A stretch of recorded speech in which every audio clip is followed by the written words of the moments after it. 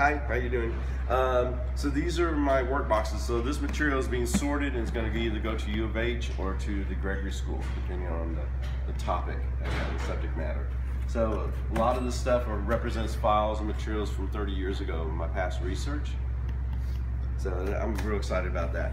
This is my teaching. This is my, uh, I, I teach something called visual STEAM.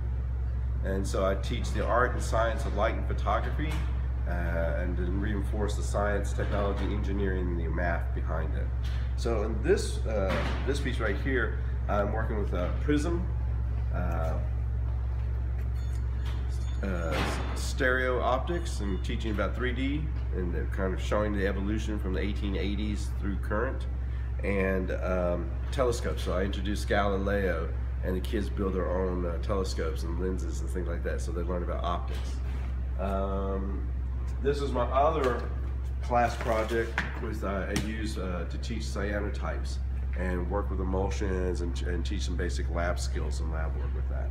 I'll show you the other pieces, kind of like the big piece at the beginning of the project and then the big piece at the end uh, of those, those workshops. The kids get to build their own digital cameras and then I've made a mobile camera obscura. Okay, so this is stuff that uh, I'm packing to uh, that are donations for West Texas. We have what will hopefully be a media tent, um, some equipment and things like that, uh, some books. Actually, one of the things that I do uh, for myself whenever I make a big trip, I go through all my old photo books that I have, and I remind myself of images, and kind of build up kind of a, again a, a vocabulary, and uh, look at the moments, and then kind of be mindful of them so they can become aware. So I, am a real big student of uh, building on uh, the past you know, and, and, and kind of adding to the next generation of work. So if you have anything, uh, like I said, I leave next Monday. Uh, this equipment uh, and all this stuff will probably be traveling over the weekend or Monday, Tuesday to, uh, to West Texas uh, to be part of the cause there. So if you need anything, you can get it over to the warehouse, send me a message and I'll help get it over there. Also working with Houston Stands with Standing Rock and they'll be able to help you as well. Okay, let me show you another part of the warehouse. This is a teaching tool. This is my mobile camera Obscura. This is a 140 year old camera lens that I've adapted to the front. As you can see, I've added some graphics here. So you can see this is how the eye works. So you have their lens, light going through here, and then it captures on the back. And so we're able to go in here and literally capture the focus in the air. So I'm going to show you set this up for you, but I want to show you this graphic. Then we also have this graphic here that I use. So I'm going to show the math, but this shows how the impact of these apertures opening and how they have an impact on the what the picture looks like, the shutter speeds and the ISO as well. So this is a way of kind of visually uh, helping people kind of understand both the math that's behind uh, these things. Okay, and here's the third graphic here showing a camera obscura drawing or camera uh, obscura in use in the, uh, uh, in the Middle Ages. So let's go ahead and set this up someplace where we can look. So what we're going to do, you can go ahead and bring your camera in here. Let's see this. You can kind of set it right here. So you can see we captured the focus in the air.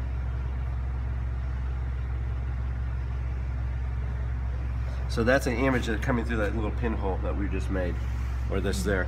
And then I have, I change out the lenses. I can use a, a little pinhole, literally a straw size hole and kind of show how light moves through there.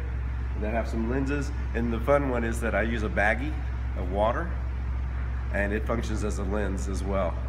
So the kids get to see this. This is actually a functioning camera too. I've sealed it so I've actually made pictures through it as well. So my next generation is going to be a little bit wider viewing area and then having uh, a, little pulley to kind of, basically I'm going to take a, an old uh, tape measure and tie a string to it and then being able to put that little assembly on there to kind of let it roll back and forth so you know, kids don't have to have to reach in, they can just look through and see it. So this is a teaching tool that I've created to kind of help uh, educate people on a visual literacy. Cool, isn't it? App that I use to uh, to map the route. So from Houston to West Texas, kind of marking the three locations of the camp so you, people kind of a little sense of perspective on this.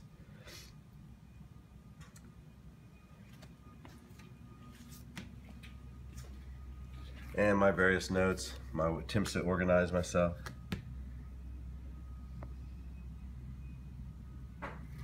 So Camp Toilerville's there. Trail Deer and Two Rivers. And the pipelines are cutting through all this area just uh, just west of the Big Bend National Park and the State Park and going to refineries in Mexico.